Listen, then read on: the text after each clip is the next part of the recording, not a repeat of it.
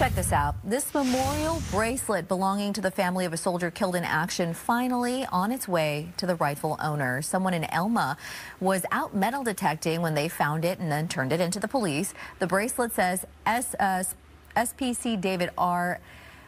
Fahey Jr. along with the day that he was killed in action back in 2011.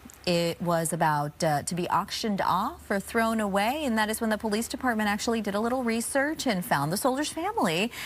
Now this special piece of jewelry will be sent to the family in Connecticut.